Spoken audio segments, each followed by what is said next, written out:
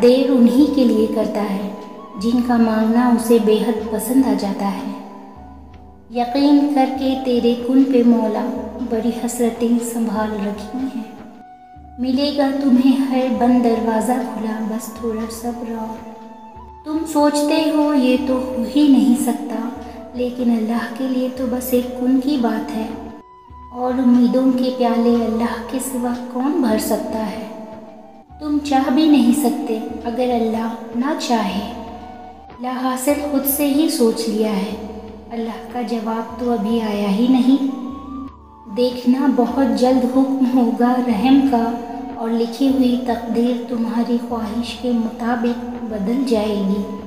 अल्लाह दिल की बातें बिन कहे सुनता है, क्योंकि वो दिल में रहता है। जल्द ही तुम तक मुआवजे आएँगे, ज़रूर आएँगे। तुम हो ही अल्लाह को इतने प्यारे। देखना अल्लाह जल्द ही ऐसे वसीले बनाएगा कि तुम हैरान रह जाओगे। और जल्द ही अल्लाह तुम्हारे लिए ऐसा मुआजा भेजेगा, जिसकी ना कोई हद होगी और ना ही कोई अख्ताम। अल्लाह तुम्हारी दुआओं के जवाब उन ज़रियों से देता है, जो तुम्हारे लिए बेहतर होते हैं। उन ज़रियों से नहीं, जिन्हें तुम बेहतर समझते हो। तुम्हारे इंतज़ार को वो बहुत जल्द मौजों में बदल देगा।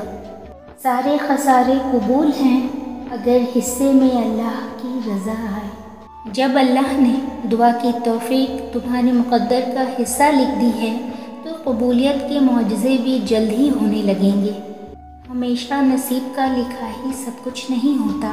अल्लाह नसीब का कुछ हिस्सा इसलिए भी खाली रखता है, ताकि उसे तुम्हारी दुआओं से मुकम्मल कर सके।